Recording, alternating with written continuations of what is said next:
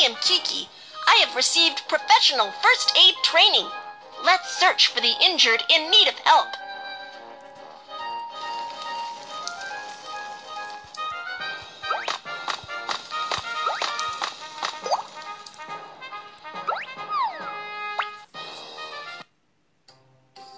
When the earthquake struck, I got hit in the head and the hands by a flower pot.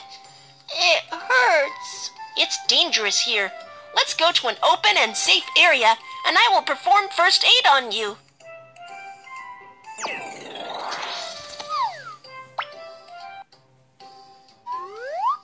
For head injury, apply pressure with a dressing to stop bleeding.